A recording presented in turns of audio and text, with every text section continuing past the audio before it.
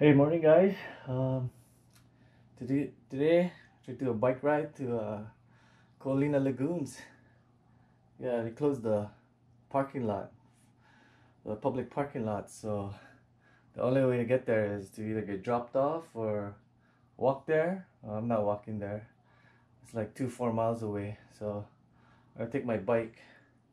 Uh, take you to this. Um, they call it the back road or the hidden road that nobody knows about. It's not a paved road, but it's uh, access to the site by bike. Uh, you just gotta be careful because there's a lot of construction going on. Other than that, uh, hopefully I get there and uh, enjoy the video.